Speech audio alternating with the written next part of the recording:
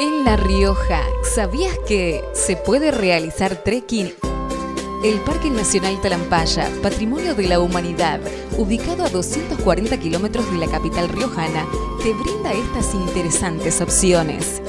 Actividades para realizar en la inmensidad de Talampaya. La Rioja, un viaje a los orígenes. Secretaría de Turismo, Gobierno del Pueblo de La Rioja.